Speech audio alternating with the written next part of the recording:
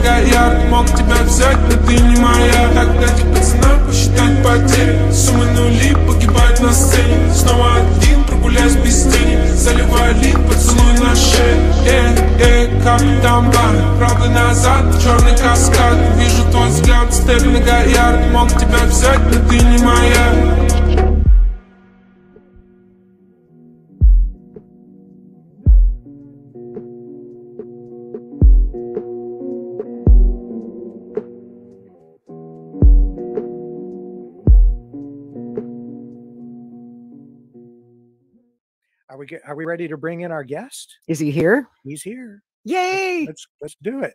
All right. Hi, Hello. Scott. Hello. This is what happens when you invite men who aren't technolo- uh, technologically savvy and they can't find the link to the show. but I found it. I'm so glad you did. you don't leave us hanging out here. Hey, Scott Ritter's coming, and then he He's doesn't doing- show up. eventually, Yeah. If he ever figures out how to turn on his computer. You're a Welcome man of your word. I Welcome knew you'd back. make it. Great to have you here. Well, thanks for having me. Yeah. Wonderful to have you, Scott.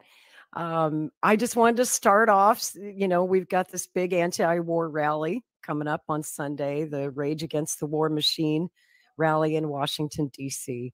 And of course, you were originally slated to speak at this rally, and I was so disappointed to hear that uh, they disinvited you, or some of the organizers disinvited you, and I just want to clear the air and get that out of the way right off the top and and let you explain why you won't be speaking on Sunday.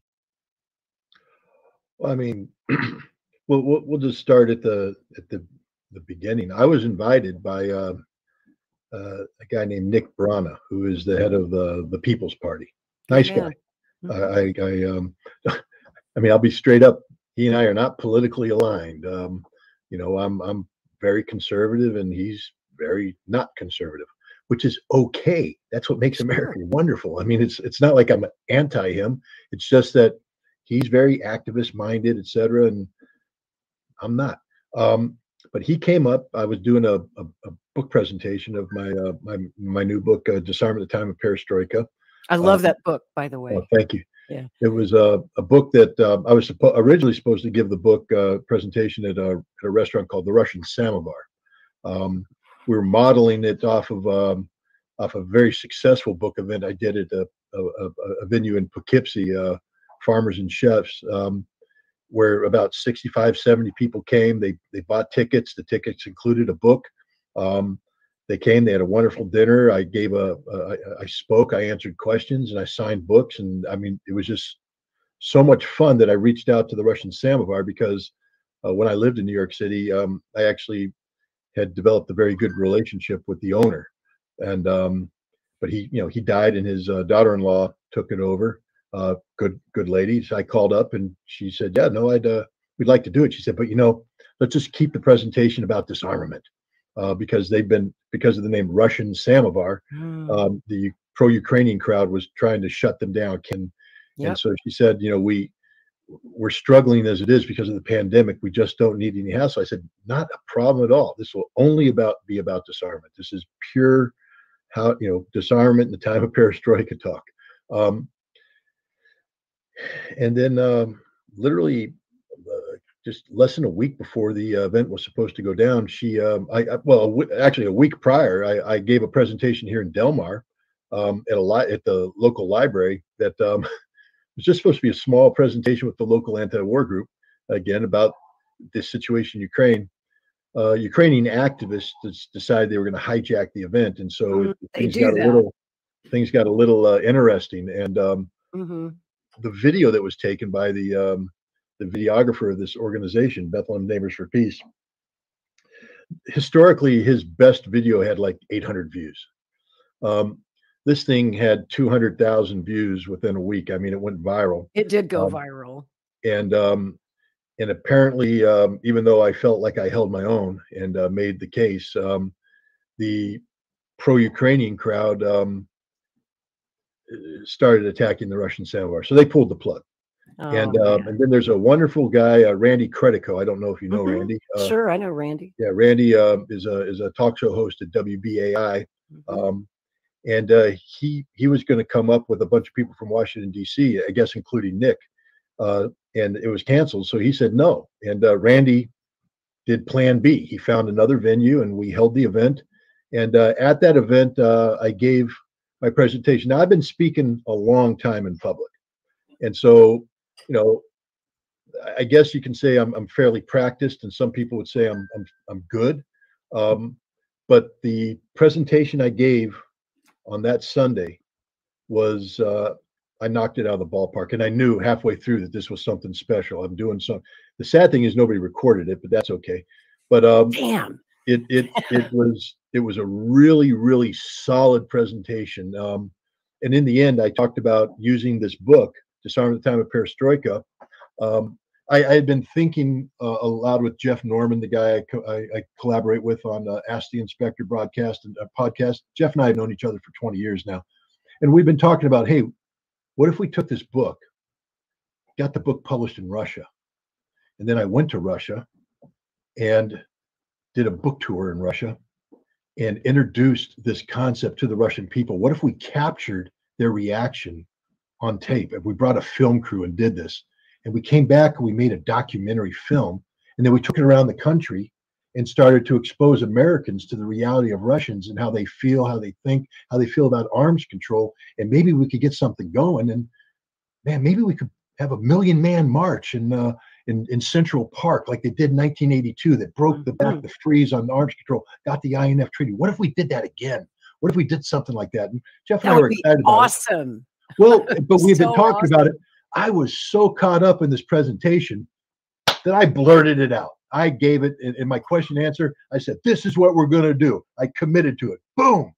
And Nick Brana came up and he goes, "You need to give that presentation at the rally." And I said, "What rally?"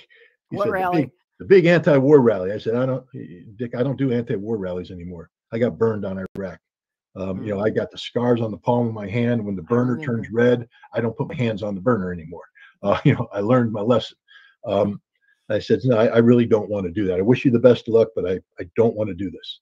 Ah, Um, but Nick is very persuasive. Nick, uh, he kept He coming and it. coming and coming and talking about how important his speech was and that message, that message. And I was so caught up having just delivered this message and seeing the reaction. I was getting excited. I said, yeah, okay, I'll go. I'll do the thing. but I knew in my heart of hearts it just wasn't going to work out uh, because I am a lightning rod for any Yes. number of reasons. And um, if you know, I have no problem being a lightning rod when people disagree with me. Those are the kind of arguments I like because I'm pretty well prepared and um, I feel I wouldn't want to debate you. I can hold my own. I I, I, I, I, I took on Christopher Hitchens, who is uh, Yeah. one of the premier masters of the English language, and he is loquacious and eloquent, and he uses the right words. And I crushed him on a stage in Tarrytown, New York. Wiped the floor with the guy. Um, so I'll I'll debate anybody, anytime, anywhere. We can do this. But see, they don't want to have that debate. So they bring up, you know, uh, my past. Um, and my past includes a criminal conviction for um, what they call a, a, a sexual, um, illegal sexual contact with a minor. Hmm. There was never sexual contact with a minor. There was That's never a right. minor. There was, it was a police sting operation where, um, under normal circumstances, uh, the, it would never have been brought to the attention. I, I look, I'll give you an example. Um, I mean, I don't want to get, you know, people are interested in the prurient details of it. Mm. Um, here, here, here's here's what I want to tell people. Um, let me destroy your life. Okay, let me let me eliminate your ability to earn a living for, for your family. Let, first of all, let me put you on a crusade that you believe in, that you think is the greatest crusade in the history of the world, that that it can save the world, save lives. Let me get you committed to this crusade. Let me have you put everything into it, years of your life, put into it, thinking you're doing the right thing, and then I'm going to have the government turn on you and destroy you, uh, deny you employment opportunities, attack your family, literally attack your family, attack you, um, and I'll get you at your lowest possible point, where literally um, you're too proud to turn for anybody for help, and then I'm going to put you on the internet and I'm going to see what you do. All right. I'm not saying everybody behaves the same. I will tell you that I engaged in no criminal activity, none whatsoever. Never have, never will. But what I did on the internet is not something that people should be proud of. It's uh, especially if you're married. I'll be the first one to say that. Uh, but it wasn't criminal. And if anybody's going to hold to me account, it's going to be my wife, That's who, by the way, has forgiven me. We've been married 31 years. I have twin daughters. They they have no problem with it. My friends who are where they're they're all good. So all the people closest to me understand what happened, understand it wasn't criminal, and understand that I was at the lowest possible moment in my entire life. Yes, you um, were. And, and and if again, like I said, I'm not going to get into the details because it's none of your business. That's it wasn't right. criminal, so you have no right to know. Uh, but what happened is um, a prosecutor saw the name and said he can uh, he can he can make money with this, and uh, he he went off and he started a prosecution. You know, it's a computer crime what uh, what they alleged me doing, but they wouldn't investigate. They wouldn't they wouldn't look at my computer. Really? Oh no! See, I'm the one Hmm. who said, uh, I'm the one who said we can end this thing now. Why don't we take my computer and give it to the prosecutor and say, have at it, guys. There's nothing on there. There's no crime. Let's go. And they went, we don't want your computer. I before did never that- knew that important lot detail. you don't know. There's a Hmm. lot you don't know. First of Hmm. all, the incident in question was in an adults only chat room Yep. an adults only chat room where the person that had to go in had to make a profile that uh, said they were over 18 and then on three occasions had to confirm that they were over 18 before they were allowed to interact if two people meet and they both agree at the start that they're over 18 anything that happens after that It's Ain't a crime. consensual, right? that's okay because the prosecutor is corrupt anyways we we tried to give him the computer and um, Hmm. my lawyer first of all said no no way you're giving that computer to the prosecutor i said why not he said because they'll find something i said they won't Hmm. find or they'll anything." plant something. well that's different because no you take you take uh you scan you you get Yeah. You do a scan of it. So if they planted something, it would be different from the scan. And no, it doesn't work that way. We're not Right. stupid. Um, but we actually went out and hired uh, an NSA, a former NSA, and a former FBI uh, cyber people, and turned the computers over to them. And they did a top to bottom scrub of everything. And they came back and said, "Ain't nothing on here, boss." So we went to the prosecutor and said, "Here's the computer." Prosecutor said, "I don't want to touch the computer. I don't want to have anything to do with the computer." And we're like, "But you should, since this is a computer crime." Nope. So, So they just use their chat logs, basically. they, they- they just used the chat log of an adult chatting with an adult. yeah. Right. Um, so we took the computer and we went to a um, a retired um, special agent for the um, Secret Service, who was one of the first people involved in um, the uh, computer crimes against children. Uh, he basically helped write the book for it. Uh, he has prosecuted over 25,000 cases, almost all of which were success- successfully put people away. And we came to him. Understand what I'm telling you. I'm going after the guy that prosecutes bad guys. I'm not going after the guy that defends bad guys. I'm going after the guy that prosecutes bad guys. And I said, I need you to look at this computer. And he said, no. And we said, why? And he said, because I will find something where there's smoke, there's fire. This is what I do for a living. People come to me and they say, do this, and I will find it. And then you're screwed. You're going to jail forever. They said, don't let me look at this computer. And my lawyer got scared and was like, I said, give him the computer. And I signed a waiver. I said, I, you're not a bad lawyer. I'm making this decision. Give him the computer. I have the letter. Someday I'm going to write the book and I'll publish the letter. The letter that the guy wrote to the judge. For the first time in his entire career, he said, because he, he said, I encourage people not to do this. I will find it. If there's something on there, I will find it. He said, for the first time in my career, I can write the letter I'm getting ready to write. There is no indication of a crime whatsoever. No indication of, uh, you know, a desire for underage uh, children. There's nothing here. You know, yeah, there's this adult adult stuff, but that's that's his business. It's not none of my business. We're talking about a Mhm. crime. There's no evidence of a crime. Not only that, he then went through the police report and he said, this is an unprosecutable case. There's no crime that was committed. But not only that, the police officer violated everything, every, you know, every investigatory technique, et cetera, uh, you know, entrapment. I mean, the whole, you know, everything you could do wrong as a cop, he did wrong. He did. That's right. So right. he said, you know, not only is there no indication of a crime, but the cop, so he was ready to testify. This is like the leading expert in America, ready to testify on my behalf. The judge went, no, inadmissible. We're not going to let him, we're not going to let him testify. And then they went and, um, you know, and, and they got some files unsealed on uh, incidents that occurred in 2001, which, by the way, again, none of your business, but no crime was committed. The case was thrown out, dismissed, and the files were sealed. That means, first thing, that it's a legal nullity. There's no crime. It's a nullity. It's sealed for a reason because you don't. This stuff should never be in public public life. That Yeah. the cop who who leaked it, um, you know, he initiated something, and the FBI was brought in. This is a fact that not too many people understand. The FBI came in under orders from the Attorney General to get rid of her. They See, and that's where we left off last time when we had you in for an They interview and we talked. You know, you told the story about how the FBI had been messing with you at that point for well, their their whole over a marching order. decade. So the uh, the FBI came in, and they broke the law. You know, they did what they did is they got a judge to unseal the files. Illegal as hell. Illegal as hell. Can't do. And I'll tell you why it's illegal as hell because I later challenged that and I won. We took it up to the New York Supreme Court and they came back with a unanimous decision and said you can't unseal the files. It's not allowed. But the FBI got a judge to do it, and then the files were turned over to the FBI, who worked with the prosecutors from the Northern District of New York, right here in Albany, New York. And normally, when this is, happens, you're dead. When the FBI gets files and they go to the Northern District, you're going to go to jail on these kind of charges. No mm-hmm. crime was committed.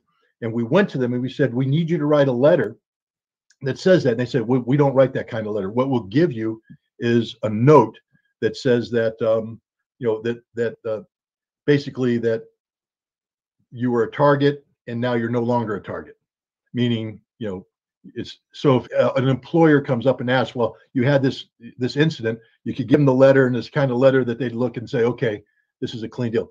But the point I'm trying to make is everybody who jumps on 2001 who thinks they know what they're talking about, they don't know what they're talking about. Uh, no crime was committed. The files were sealed.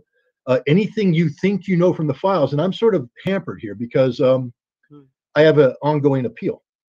And part of the appeal is uh, appealing what happened in terms of the release of the files.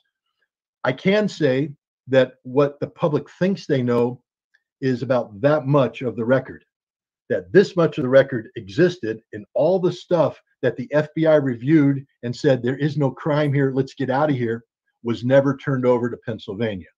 It all disappeared magically. All the stuff, and I can't talk about the content of it because that's using something as a shield. And once you use it as a shield, then they're allowed to use it as a sword. We're saying they're not allowed to use the sword, so I can't go into the details of why. There's, you know, that's just if there's a sealed file, that information can never be public. That's right. Um, that's that's that. Pennsylvania, wasn't that where the Cosby case got overturned and he got kicked? He's Well, you, free. what you don't uh, what, because of again what you don't what you don't know is that my current uh my current appeal is um is based on the Cosby case. Bingo. Yeah. Yes, because So, it's the you same know, thing. They, the prosecutor used uh, evidence. judge, uh, here we had a judge. Uh, I mean, so they they illegally got the file. They went back to a judge and illegally got 2001. And, and applying to it, what the prosecutor said is, we cannot successfully prosecute this case based upon what happened in Pennsylvania because there's nothing here. Right. We have to have 2001 so that we can manufacture a case. So you have to give us the fi- if you don't give us the file, we cannot prosecute this guy. So what he's saying is whatever happened in 2009 between consenting adults isn't a crime. But what they have to do is convince the jury that I really intended to be talking to a, a- an underage person. So they they thought they were going to get something in 2001, but they cherry picked it to make a case up. But it was illegal what they did. So Mhm. we went to the judge and said, "You can't, you can't do this. It's illegal." Uh, New York law. We cited it. Apparently in said- Pennsylvania they do it anyway. all, as all the time. Well, what she said us. is, um, "I will not reverse the decision of a New York court, um, no matter what the, the soundness of your league are. If you want New York, you know," she said, "I will respect the decision of a New York court. If you want to change that, you have to go to the New York court and get them to change it." So we did. And we went to New York. We took it up the chain of command, and the highest court in New York said illegal as hell. It should never have been unsealed. Boom. We came back to the judge and said, "Hey, hey," and she went, "No, we're gonna we're gonna let it stay." Uh, I, I'm just telling you, the fix was in from day one. Um, so I mean, people have a problem with this. I mean, again, if if you're going to tell me that you object to what I did in an adults only chat room with another consenting adult, that's okay. I I actually will say I, I respect that. I understand that. Um, if you're perfect, if your name is Jesus Christ or you're the Virgin Mary, I, I get it. Um, otherwise, you're a hypocrite, and you know, God forbid somebody ever gets a hold of your Google search history. Um, you Let know, he among us who is without sin cast Yeah. that first yeah, and I. But again, if that's their position, I can at least respect that. If you want to take a moral, principled stance based upon non-criminal activity and say, "I condemn you for that," I'll be like, "That's your business, no problem." But what they're trying to say, and I mean the term that's used, you. They're calling me a twice convicted pedophile. Yes, and that's A, I was convicted once, not twice, and but has nothing to do with pedophilia. pedophile. Yeah, I mean, You- and, you- and, you know, I want to make possible- this so clear, Scott, and I'm sorry to interrupt, but I've been I've been answering people on social media now for a month who post they get up in my replies on Twitter and they say, "How can you back Scott Ritter when he's a twice convicted pedophile?" And I'm like, "Hold up. You know, I want to make this so clear. Scott Ritter to the best of my knowledge never ever interacted with an underage girl an 100%. adult Well, underage person. room. It He could have been. I mean, interacted. to say, oh, with, oh, you're, he interacted with a boy. No, he, he interacted I never with interacted an with an underage person who was an adult. I Who was presume saying the he was an was an adult. adult. who was an adult from the start. Yeah. and, and then and then i mean again i don't want to go into the details but this adult after engaging as an adult injected a fantasy element Mhm. um stupid not criminal uh you know and end of story but you End know story. i don't care about um let me let me put it this way you know who hates pedophiles more than any of your listeners You. no no besides me who hates them who will kill them inmates Right. send a pedophile to jail Mhm. watch what happens True. they sent me to jail thinking that was going to be the end of Scott Ritter. They set me up. They wanted me dead. They sure did, Scott. And I went to jail. The first thing the the, the corrections officers tell you is um, don't tell anybody about your case. Just keep your head down, keep it low. I'm like, my face was all over the damn television. Um, don't tell anybody about my case. Inmates follow this stuff. They're addicted to crime stories. That's And- right. And so when I showed up, they were literally lining up to kill me. Mhm. literally lining up to kill me. And so what I did is what you're not supposed to do. I took my paperwork to the head of the gangs. And I said, You guys want to kill me? Bam. I'm right here. Read it, pass it around. Everybody should know your stuff. I'm not hiding from anything in this paperwork. Nothing. And at the end of that, if when that's done, you want to kill me, we'll go out back and I'll give you your bet. You can take your best shot. I'll take 50 of you down, but you'll probably get me in the end. But read that first. The Crips, the Bloods, the Latin Kings have a history of killing pedophiles. Yes, they do. They all came back and said, You got screwed. You got screwed. You're not a criminal. It's And obvious to anyone who really looks at it or has Yeah, two brain cells the other rub thing, together. The corrections officers said the same thing. They're all saying, Yeah. Why are you here? Who did you piss off? Who did you anger? Mhm. Um, and I'll give you another thing. To, to get parole, they sent me to five and a half years. Five and a half years was the, the sentence. Now I could get out in 18 months. Um, at, at 18 months, the uh, judge and the uh, prosecutor put the kibosh on me getting paroled. They are allowed to do that. The first time out, they're allowed to interfere and say nope. And the reason why they said no is because I never pled guilty. See, they offered me a deal. They were going to put me in jail for 40 years. They offered 40 me a deal. years. Yeah, 40 Damn, years. that's a Ghislaine Maxwell sentence right there. They said, they said 40 years, or you can cop a plea to this one charge and you'll just get parole, meaning no jail. All I had to do is plead guilty to one charge and I'd get no parole. I'd have to register as a sex offender. And I said, innocent men don't plead guilty to anything. My lawyer's going, this is the best deal possible, best deal possible. You got to take. it." I said, no, we're going to trial. I will never plead guilty to anything I haven't done. But you could go to jail. Then I will go to jail. But I am never going to plead guilty. And we went to trial. And as I told you, all the evidence was suppressed. They introduced stuff they're not supposed to. I got convicted five and a half years. Now, and wasn't it really more about convicting you in the court of public opinion, Scott? was about. That was all it was about. Is, is to destroy my reputation. Now, to get paroled, and this is an important thing that people need to understand. You can't be paroled unless you plead guilty. You can't be paroled. I had a five and a half year sentence. Let me give you a quick headline of how this story ends. I was paroled after three years. Well, Scott, did you plead guilty? Nope. How did you get paroled? How'd you pull that off? I pulled it off by being honest.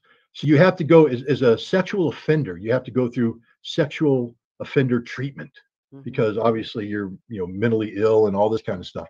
So I and I went to the head shrink and uh, to do the intake interview, and he's like, "Well, you got to sign this form," and this form says, "I am guilty of the charges," and I, I said, "I am not guilty of the charges," uh, and uh, and he said, "Well, you'll you'll never be able to." I said, "Here, let me just make it clear to you. I took my file just like I did with the with the gangs, and I put it in front of him.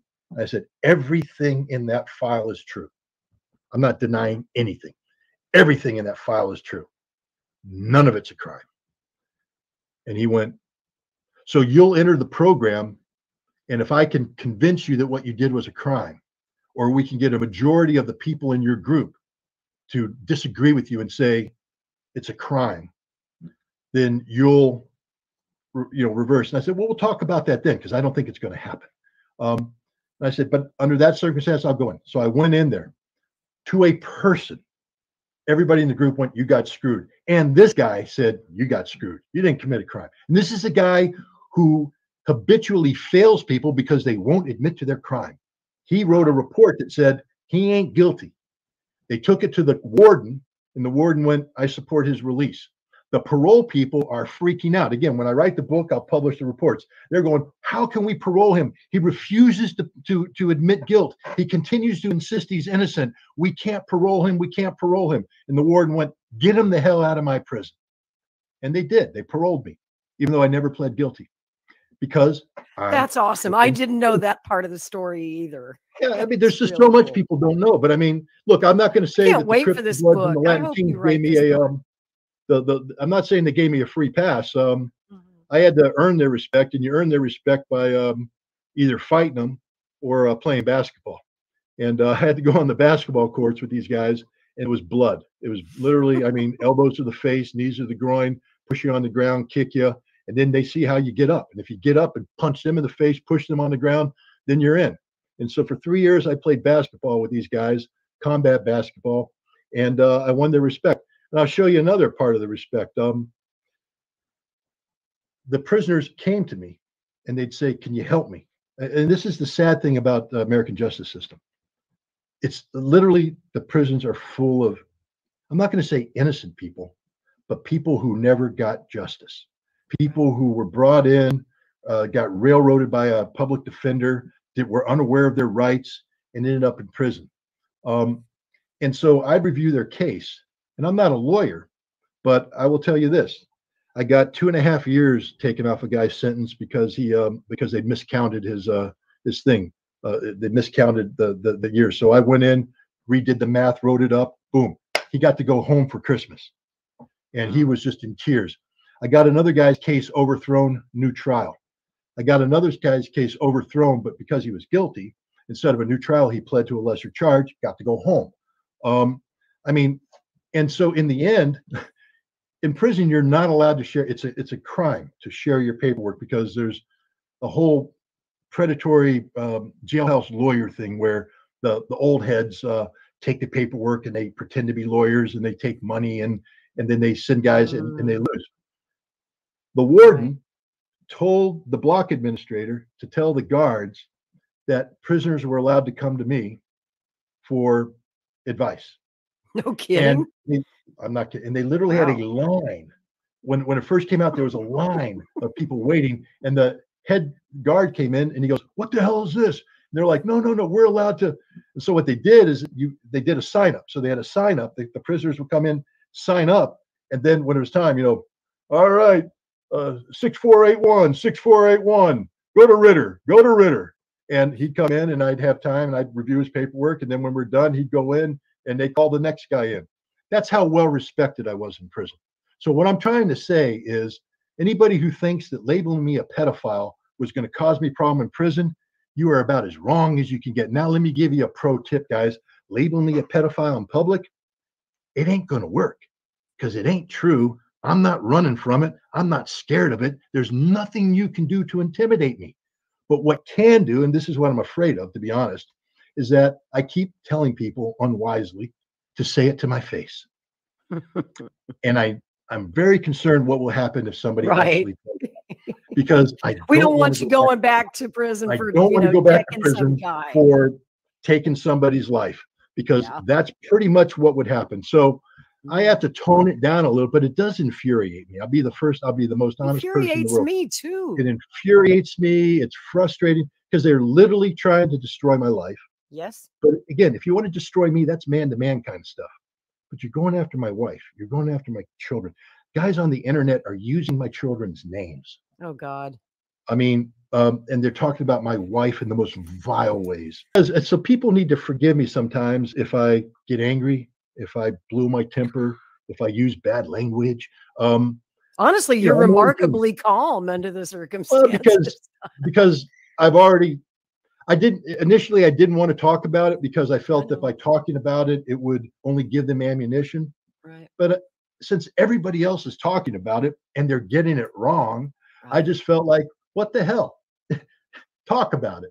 You know, you got a question, ask me the question. I'm not going to run away from it. I'll be dead on. I'm so glad that you're opening up about this, Scott, because I know it's got to be hard. And I I just want to remind people that all throughout history, the intelligence agencies, certainly in the 20th century, all throughout time in spycraft, have used sexual blackmail or sexual allegations to discredit their critics. And because we live in a puritanical society full of hypocrites. I mean, again, I'm not here to excuse any behavior. It's none of my business. Uh, what you know, what people do. Um, but I'll say this: when I look at Congress, the the, the congressmen who scream the loudest about homosexuality um, end up having wide stances in men's rooms in the exactly every time. All right, every single time Every single and time. the people that scream about you know transsexuals this and that and the other thing they end up having you know a closet full of transsexuals and the people Mm. and i'm just going to be frank with you all you guys out there that are screaming about pedophilia god help you if somebody ever goes through your search record okay because i can tell you what my google search is clean i mean you know especially now it's very Right. clean um, but you know I can guarantee you, anybody who's out there going, he's a pedophile, freeze your computer. Let me get into your computer and let's see what we find, you hypocrite. Um, yeah, and if well- you don't think that the FBI folks frames people on stuff like this, go to your favorite search engine and type in Operation Zorro. This was the operation that the FBI ran against Dr. Martin Luther Martin King Luther King. Yeah. in the 60s, where they bugged his hotel rooms, tried to catch him with a woman who wasn't his wife, tried to blackmail him, even sent the man a letter. The letter basically encouraged Dr. King to commit suicide. Commit suicide. Yeah. Yeah, Look, when I, he was I think such I a you horrible time. person, you know. When, yeah. When I, uh, when I resigned from the special commission, I think I told you this about the, uh, meeting with the CIA guy. Um, Yeah. and uh, and and he was my friend. I mean, I'll give Larry Sanchez is his name. Um, it's not covert anymore. You can say his name. He's a public official. But Larry Sanchez called me up, and he said, um, "You can't you can't leave because if you leave, the whole thing is going to come down. It's all about you. You've been the heart of this for many years. If you go, it's there's it, literally it will collapse. So we're going to put you on the phone with a senior official in the National Security Council." and they're going to ask you to stay. And I said, okay, I'll take that call. So I got on the phone, had the conversation. They begged me to stay, but in the end, they weren't willing to change what they were doing to interfere with my inspections. They pretty much wanted me to stay and just play the game. I said, I'm not going to do that. Uh, so I turned it down. I was leaving with my, to turn in my resignation. He, and he said, you know, shook my hand. He said, Scott, we we've been friends, but I, I'll never be able to talk to you again uh, because of this. And um, uh, what are we allowed to say on your air? Anything. Can I say the F word? Oh Of yeah. course. I mean, I'm not going to do it gratuitously. Yeah. But what he said is We're not uh, prudes here. No, but I'm just, I, I think it's important to understand exactly what he said. He said, the moment you walk out this room, understand this the FBI is going to fuck you in the ass. And they've told me that.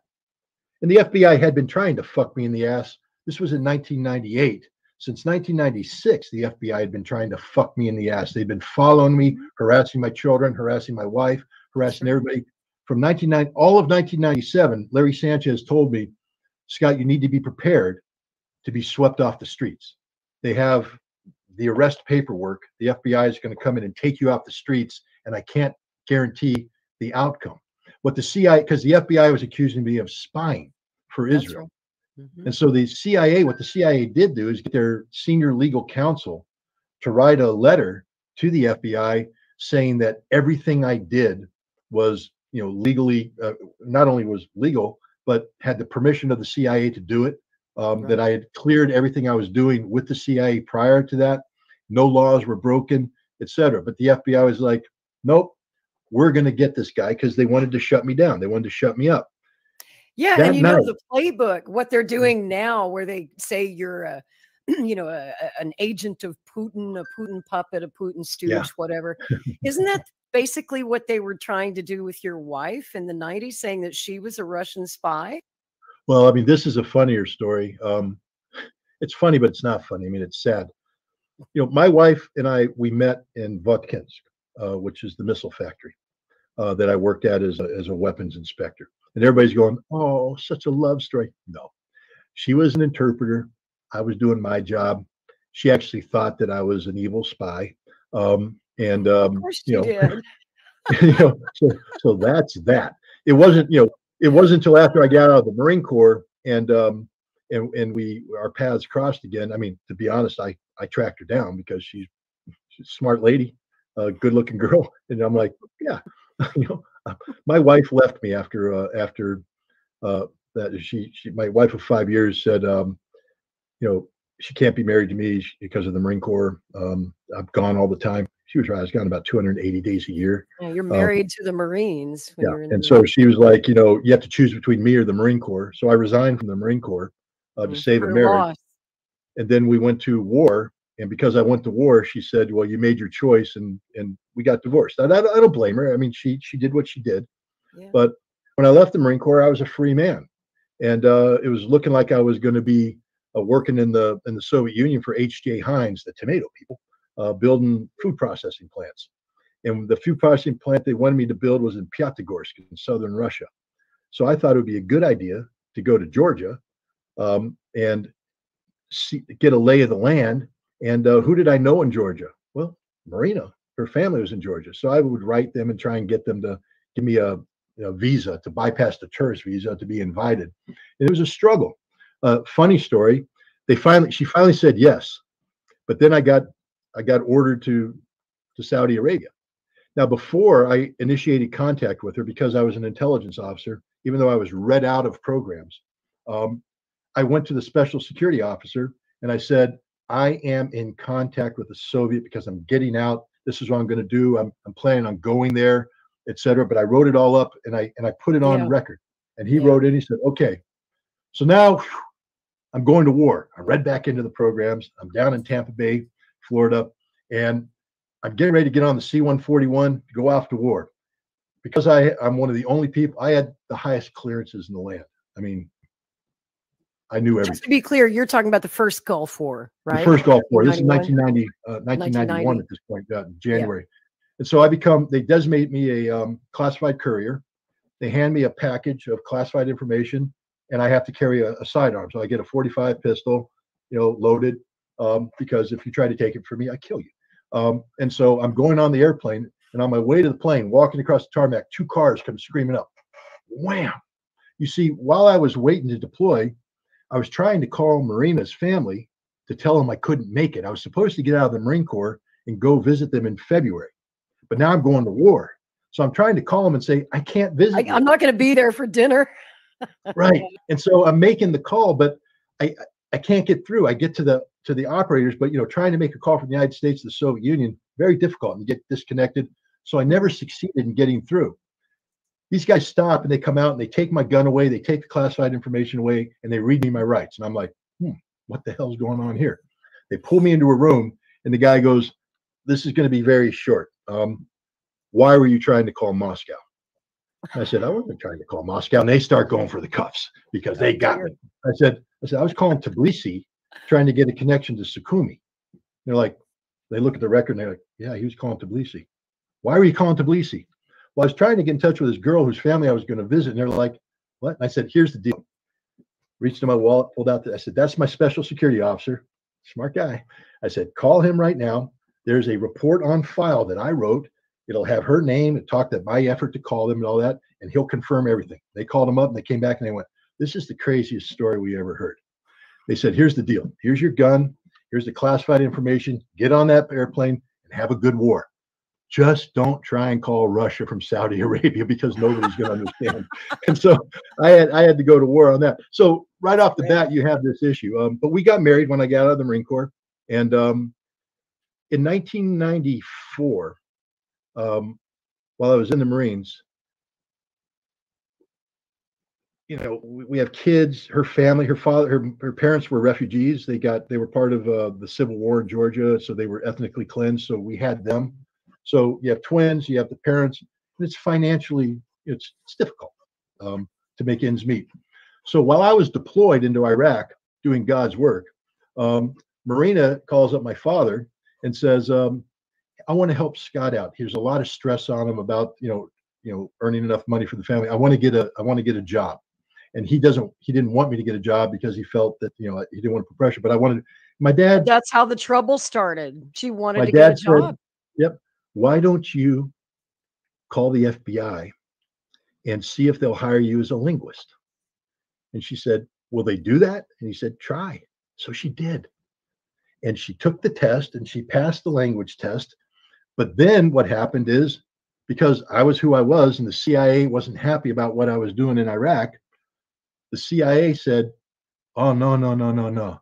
Scott's using her to get into the FBI to get secrets about the investigations that she can then give to Scott, and then he can give them to who? The Russians? I don't know what they thought, Hmm. but she became a, a target of investigation, and so they, you know, they they basically didn't hire her, and they put her on what they call this congressional watch list of known foreign intelligence attempts to penetrate the U.S. intelligence community. So my wife suddenly became this with known, zero evidence of that. none Just put her on a watch list. She's the mother of twins. I mean, great cover story. So, um, Wow. so anyways, long story short, uh, 2001, and the FBI wants me to uh, help them out uh, going after um, uh, Naji Sabri, who's the Ira- Iraqi foreign minister. There was rumors that he wanted to defect and that he had information about weapons of mass destruction. And I was meeting with Naji Sabri in the Iraqi mission, trying to organize a um, you know a, a- movie to make a movie. And um, so the FBI came to me and they said, um, "Hey, would you be willing to uh, just go in and, and and just tell us what his mental what what he's thinking, you know, all that stuff?" I said, "Sure, I'll do that. I mean, I'm an American. I don't want a war. I'd like to find out what the Iraqis are thinking." So I did that, and uh, they came back and, and they're like, "Well, that was good. We we you know, how'd you like to come on and get on our Iraq team and, and help us, you know, figure out what's going on with weapons of mass destruction?" I said, "Yeah, I'll, I'll- do that." And they said, "Well, first thing, first thing though, we have to solve the problem with your wife." I said, "There's no problem with my wife. No, no, she's on the congressional watch list." Is that the first "Really?" time you found out? First time I heard about that. Wow. And they said she needs to take a polygraph.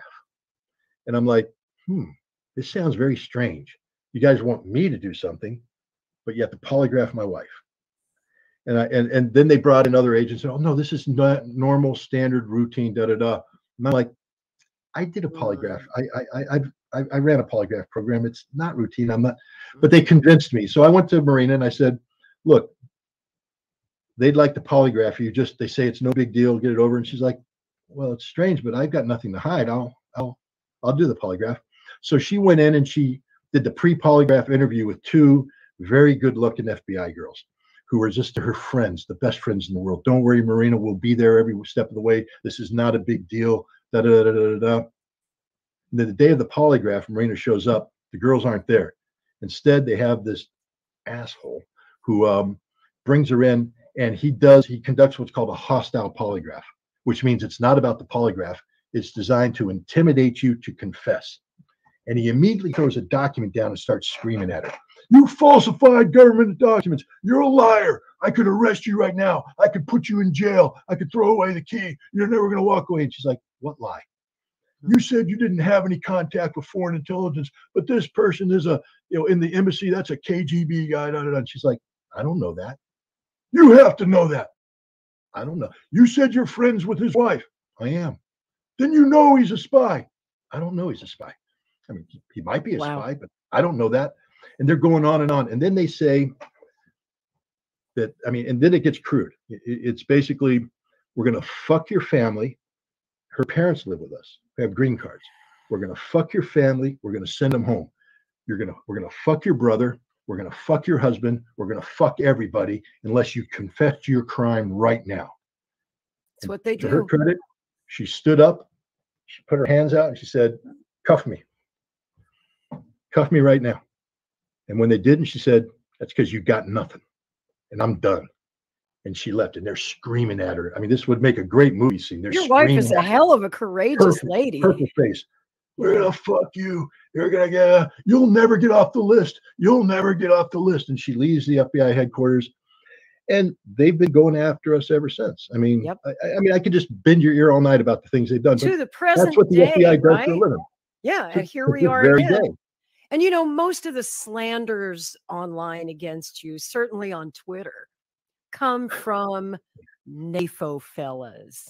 Oh yeah. We need to explain to our listeners who and what NAFO is, who created NAFO, and what NAFO does. Well, NAFO stands for North Atlantic Fellas Organization. It's not a serious organization. Um, they basically are trolls. They they admit that their number one tactic is shit posting. Mhm. Their job isn't to be factual or anything. What they And you've probably seen them. You know, when you're on Twitter, they're always the ones who have the avatar image the of Shiba the, uh, Inus, yeah, Shiba yeah. Inus or whatever, the yeah, dog. the little doggy. Yeah. Mhm. Um, and there's a, a former Marine who came out and he saw. Uh, the long story short is they they create this organization, and if you register with them, then they they issue you a Shiba Inu, I- Inu meme, and then you can put that on your thing. You're now a fella. But the whole thing about them is, if they see something that they deem to be pro-Russian, then they basically it. put out the call and they swarm it. And the idea is to just basically swarm you, shit post you, get you to back down, get you to quit, get you to do whatever. Oh, and then the other thing they do is they several times. They they've mastered the uh, the the Twitter algorithm.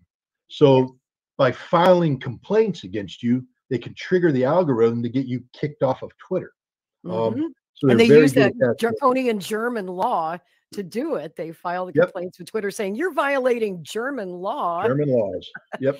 I mean, right. I, So I, I get that road. I know you. I get five or six uh, uh, notifications from A Twitter a day. day Yep, that I'm uh, that I'm in violation of German law. Me um, too.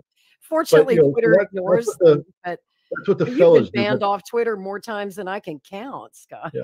The, the the the the thing about NAFO is they um they pick a theme. So their theme right now is to take um my uh, sex offender registration page, Mhm. um, which uh, again I just want to tell people, Pennsylvania made me a level three uh, sexually violent cr- uh, predator, the highest level possible. Uh, they just again manufactured a case. So when I was paroled, I came to New York, and um, the thing about it is, every state is responsible for assigning their own um, level, and generally speaking, it's automatic. And so whatever Pennsylvania said came over in New York, but there was a hearing, and at first I was just like, I, I just I don't want to do this hearing. I'm just, but then I'm like, no, no, no, no, no, no, no, no. I'm going to fight this thing. So I went to the hearing. I represented myself. I wrote a um, what they call a motion in limine uh, to to because I said the only way they can make me a sexually violent predator is if they allow the unsealed files to be come in and interpreted in an incorrect fashion. Um, and I had a New York Supreme Court case unanimous that said that that was illegal.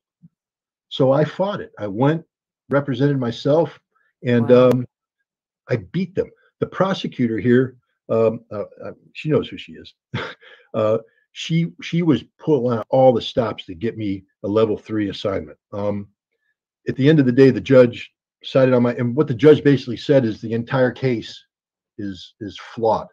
Um, Which it There's was. no case here, but because New York can't overturn a Pennsylvania conviction, the Right. conviction stands. But it's going to be a level one, the lowest level, low level offender. You know, no risk to society. And She so, for me to understand what you say, all these years later, you're still appealing, but you're appealing in the state of Pennsylvania, correct? Still in the paid, yeah, in Pennsylvania. Yep. No, I just got my um. Oh, looky This is there. my this is, this is my initial response from the uh the Superior Court, and they have remanded because I challenged the lower court's decision. They've remanded it back to lower court, saying that. I have a case. So all you haters out there, I'm not going to Wait. Say but you know what I want to say. Just Wait. watch this space. Uh-huh. the, you know, Scott's going to get the last laugh. Be careful, folks. Well, I don't know. I don't know. I, I, look, don't count your chickens before you hatch. That's true. Um, That's true. Can't predict what the justice system will do. and it's there's there's no guaranteed outcome except this: I will never stop fighting. Right. I will never accept the conviction. I will always fight the conviction because that's what innocent people do. Exactly. I think Have we you, spent have you told this story before? You you got a lot of first time information. I tonight, think we guys. Got ourselves a scoop. Yeah. Yeah, but there's trust me, I'm sitting I'm sitting on a couple boxes worth of stuff that if uh uh, at some point in time when the appeal's over, if I want to, I, I mean, I have a lot of people saying you have to write this story because it is such a gross repres misrepresentation of justice. I mean, what what happened to me, but it's not it's not what a unique. Happened- painful book to have to write. And well, I, it is. I know Yeah. if you have the support of your wife and your family to tell this story, I hope to God you do. Well, she wants me to tell it. Yeah, She wants me to tell it more than I want to tell it. I would think um, so. but you know she um she's very supportive um look I, I, let's put it this way uh when when when this first came down she was very very angry at me getting ready to tell me to pack my bags and leave the house Who could but blame uh, her? when they when they published the transcript of the interaction she took it she went upstairs and she locked herself in the room and um i can guarantee you that if anything on that transcript had implied um that i was going after underage girls she would have She come would out have and said left your ass. Kick well she would have kicked me out. She That's left me, she right. kicked me out of the house. And she came out and to her credit she said um i'm not happy. I'm not happy about any of this. I want you to know that. I am not happy. But she said there's no crime here and we're going to fight this thing. And um and she Hmm. stood by me the whole time you know?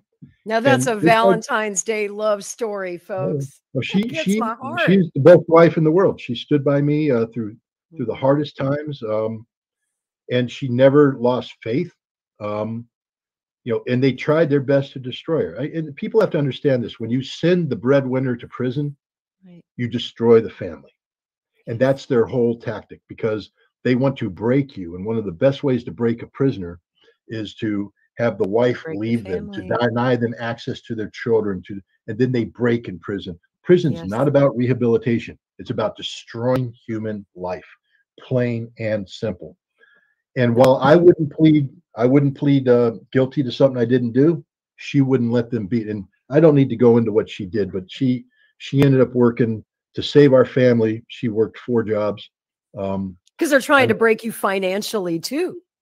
well, they almost did Oh, I know.